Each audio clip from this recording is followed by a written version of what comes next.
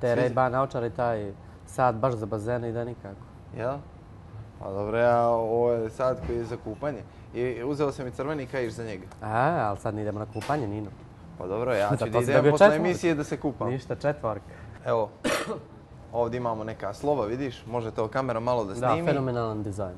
Kako ti se sviđa interijer Pinte? Fenomenalno. Ne, baš, baš sve pohvale. Ovo je baš, A, to je prvo što sam primijetio, znači kad sam ušao u lokalu, to su ova slova, znači ovaj dizajn. baš super ovako jedan background, ono kad ljudi dođu čisto za Facebook neka slika. Može, A, da, može. može da bude. Naravno, eto ćemo i nakon emisije napraviti neku čisto da se ovjekovječi ovaj moment. Ti ćeš Kaži na ovaj zid, ja ću na ovaj. Može. Ovaj, na popularni vol. ovaj, kaži taguj mi, me. da, da. Kaži mi šta slušaš najviše privatno od muzike? Slušam sve, apsolutno sve.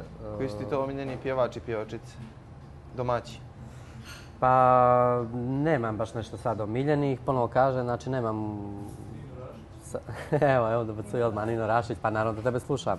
Jedva čekam posle ove emisije idemo da čujemo tvoju treću pjesmu, tako? Da. Demo. To si mi, pa dobro, nije, nije problem, znači ti si mi obećao to i bit će mi zadovoljstvo među prvima to čujem. Ispunit ću obećanje, a u spotu će biti suknje što tanje. a ti ćeš ovaj, ocijeniti njihovo izdanje. Nije problem. Tako da slušam sve uglavnom.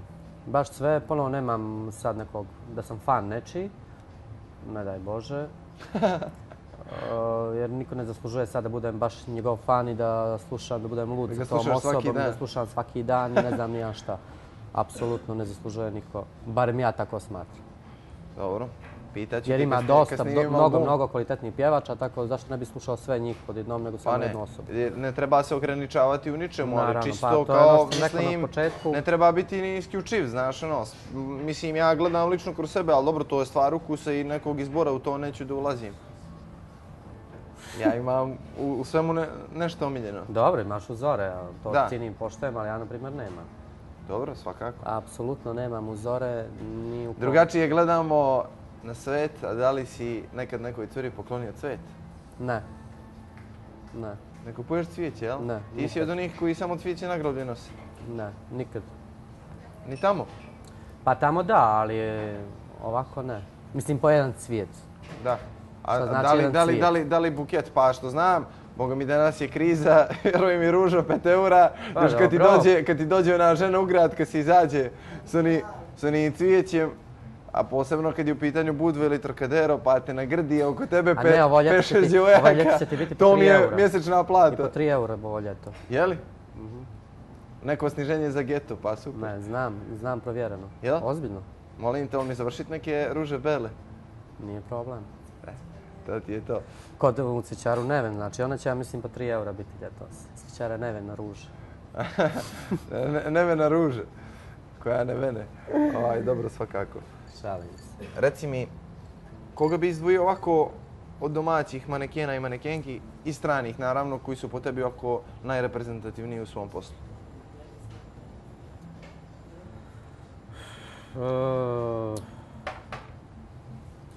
Pa dobro, ima ih, ima ih više. Nije da mogu da izabere znači po jednu osobu. Ima ih više. Dobro, ali ipak daj nam neko ime, evo, sve nešto Pa eto, nema ovo, nema eto ono. svi, m, evo ja ću biti kao i ostali, znači Marija Vujović definitivno, znači Samo sam to i što se čekao da kažeš. njenog posla, znači uradila je jako mnogo, Najviše stvarno. jako mnogo i svaka je čast. E, uspjela je. Ne znam koga bi mogao znači, još da izdvojim, a da ima znači, njenu karijeru i njen uspjeh. Njemu, kar- njenu karijeru nema niko što se tiče žena, a što se tiče muškaraca interesuje me ovako. Pa i što se tiče Možda neki muškaraca, manekena u naletu. što se tiče muškaraca, da je iz Crne Gore izašao, a da je sad u svijetu ne, nema. Jer sam znaš da su se muškarci tek počeli ovim poslom baviti prije 3-4, prije 3 godine, tako da kažem. Da. Prije nekih 5 godina to je bilo sramota. Da. A danas već nije to sramota, danas je biti in maneken. Da. Danas je maneken biti in, posebno ako si sladak i fin. Dobar brat Tako da ne bih izdvajao nikog, mislim e, ima jako dobrih e, modela, jako dobrih manekena, ali svi su ovdje, znači niko od njih nije krenuo vani. Ja se iskreno nadam da hoće i siguran sam da će uspjeti. Molim te, kaži mi, da li su po tebi isti kriterijumi ovdje i u inostranstvu što se tiče biranja manekena? S obzirom eto da si u kontaktu s inostranom nisu, scenom. nisu isti kriterijumi, nisu isti kriterijumi, ovdje su potpuno drugačiji kriterijumi. A, u inostranstvu to je mnogo realnije. Ali ponovo nisam ni za tu vrstu manekenki, koje su manekenke u pitanju, koje su jako, jako mršave. Ovdje su malo punije i ljepše ih za vidjet, ali naše djevojke uglavnom se odlučuju sad u zadnje vrijeme na izbor ljepote, znači po svijetu. Imam ovako dva pitanja za tebe. Koji je tvoj, makar da kažem, modni fetiš i da li voliš avionom da letiš? avionom, kako kad? Kad su one turbulencije, ne baš. Ako je tu neka fancy kesa i pored tebe stewardesa, onda možda da. Možeš, naravno. A modni fetiš su mi šalovi. Šalovi. Šalovi, ali ne nosim već pola godine, od kad je, bukvalno tako kažem, najezda šalova znači nastala. Jer ja šalove imam preko 70 vrsta šalova a, i obuće mi je fetiš, naravno. Da. Jako dosta obuće imam. A, Koga najviše preferiraš od obuće? Nema to, kod mene, apsolutno kod mene nema uh, nikakve veze sad uh, da li je to uh, neki jači brend ili je to, sad da kažem, Dolce Gabbana ili Zara ili ne znam ni ja sad, Aldo, Armani, znači ja u mom cipelariku, tako da kažem, imam znači od Armanija preko Dolce Gabbana do Zara obuće, znači apsolutno sve. Pa interesuje me da li si opterećen e, cijenama i Ne, nekom ne, markom ili naravno možeš da, da ne. nosiš nešto što, Na- je, što bi rekli amerikanci Ma što je naravno cheap. da ne, znači čovjek ako umije da iznese nešto, nebitno je li to 10 eura ili je to 1000 eura. Naravno, lijepo imati iz obuće, e, potrebno dati više novca, to je definitivno.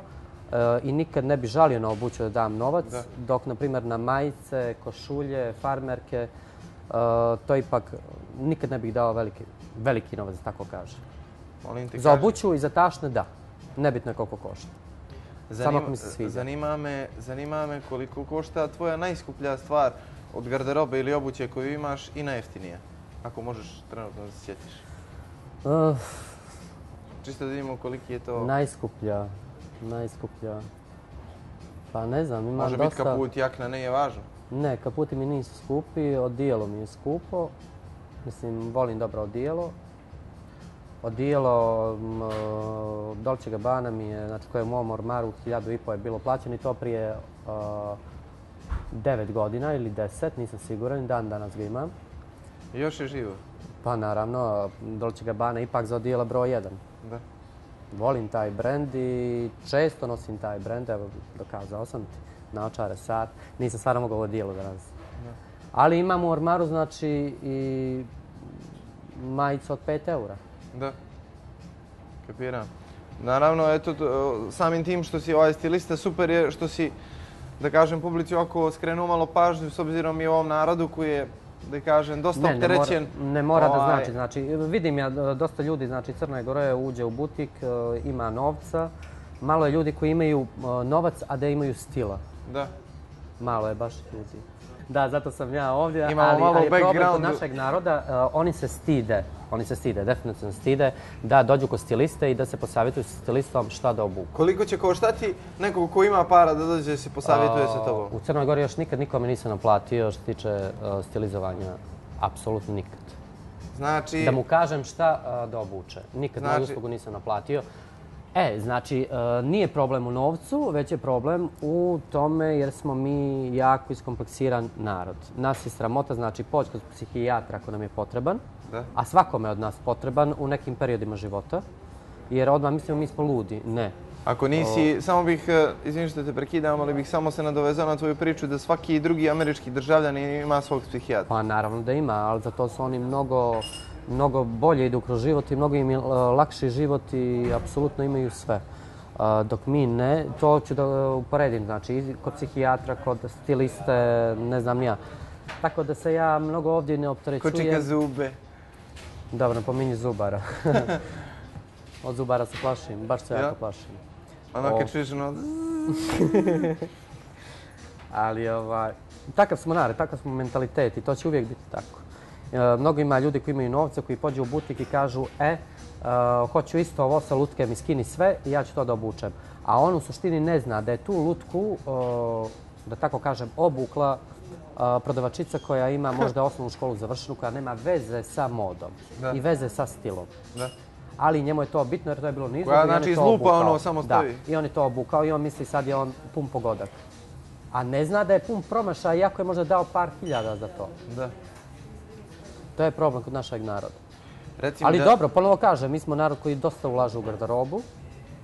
Baš dosta ulažemo u Da garderobu. nas se, o, o, po znacima navoda, u originalnu garderobu ulaže mas- masa ovih ljudi. Dosta se, mislim, kopija nosi, meni to iskreno smeta. Ja sam protivnik kopija, jer je rekla- nositi kopije, na primjer Chanel, Da, uh, ne znam. Louis Vuitton i takve stvari, kad imaš Zaru, imaš Teranovu, imaš, uh, ne znam ja.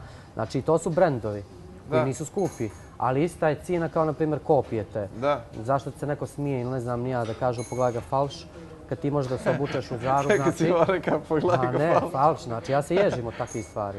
Ja nikad u životu nisam imao, znači, da uh, kopiju nosim. A ako nisam mogao da imam, uh, ako nisam skupio novac da kupim original, nisam uh, znači ni kopiju kupovao, pošao sam znači u jeftiniji butik, kupio sam nešto što bi moglo da mi zamini tu stvar. Da. Znači protivnik sam toga. Protivnik sam znači kopija pogotovo za naočare, za satove, ne znam, za obuću, tašne, tašne pogotovo. Znači naše djevojke u Crnoj Gori, uh, 80% njih kopije nosi. Da. Molim te kako gledaš, a, s obzirom da se često pominje to inostranstvo i tako i moda, šta misliš o tome kako gledaš na tu neku, po znacima navoda, gej populaciju koja je ovo toliko Pa gej aktualna u populacija u medijima? inostranstvu, uh, što se tiče mode, u inostranstvu su vodeći, bukvalno držeći stubovi mode. Uh, tako da koliko god uh, Crnogorci ne, vo, ne voljeli uh, znači, tu gej populaciju, znači sada kažem Dolce, Dolce i Gabbana, znači Armanija, ne znam ni ja sad koga sve, svi su oni gejevi. A svi oni, iako ih mrze, znači oni će da odvoje cijelu platu da nose njihov model. Zašto? Da. Zašto to rade onda? Da, jer u u Crnoj Gori ja sam konkretno upoznao par ljudi ovaj, koji tako ne bih ja to nikad nosio, to ovakvi, to onakvi, oni to prave, Da, ali na kraju ipak to je njihov posao. Kako mislim, gledaš na to, da li... Sasvim normalno, to je tamo u inostranstvu sasvim normalno, to su ljudi koji žive normalan život, koji nikoga ne diraju, koji se normalno kreću, koji zarađuju više nego prosječan građanin, više. I tamo, to, tamo, tamo nema problema sa tim. Tamo ima i njihova naselja. Sad kad sam bio u Londonu, znači njihova naselja, apsolutno sve uh, u jednoj normali. Reci mi da li vidiš... I tamo je kažnjivo, tamo je kažnjivo da ti njega isprovociraš. Apsolutno nema suda, a, a istog sekunda te, te zatvaraju. Tako da tamo nema nikakvih problema što se toga tiče. Ali definitivno to su tamo ljudi koji su najimućniji. To su ljudi koji kao mi imamo automobil, oni imaju avion. Oni imaju avion privatni. Pravo tako. Da, a taj sad čovjek da dođe sa tim avionom, svi bi mi njega mazili, grlili, ljubili i trčali na kapu sa njim. Mislim, realno, bez e, laži, bez prevare sad ovdje u Crnoj Pa bi- većina, narod. ne bi svi baš. A dok on ne dođe, pljuvali bi ga. Evo, iz 90%, tvog- iz 90% njih bi. Iz tvog, iz tvog ugla svakako ovaj... Ali kažem- ponovo kažem, to su jedni normalni Jedno ljudi koji normalno žive i ne vidim razlog zašto bi, zašto bi znači, oni bili sad, ne znam, u, u, tom, u, t- u tom pracu znači anulirani. Da li si za brak i kakve vrste i šta je tvoje omiljeno Ne. slatko da poližeš prste? Ovaj, za brak nisam. Nisam. E, iako je, i, ako neko treba da stupi u brak, nisam da stupa prije 30. godine. Prije 30. Da. Koliko ti imaš sad godina? Jer e, ja 35. Da. Ja sam jako zreo za brak, ali ponovo sam jako sebičan i želim karijeru više nego taj brak.